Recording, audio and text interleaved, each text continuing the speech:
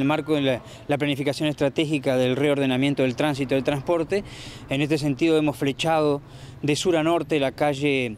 eh, Segarra y como estaba previsto en la planificación, en primera etapa la presencia inspectiva del cuerpo inspectivo de la Dirección de Tránsito a los efectos de realizar el control y la fiscalización pertinente. Y a partir del día de hoy comenzamos con esta campaña de concientización y sensibilización a todos los conductores a que tomen conocimiento de que ahora, bueno, cambió la circulación por calle Segarra, que antes era doble circulación y que, era doble sentido y que ahora es en un sentido solo. Bueno, la precaución que tiene que tener en primer lugar es mirar la señalización que luce a la vista, que, ah, que está muy visible y de esta forma permite guiar a los conductores en una normal circulación.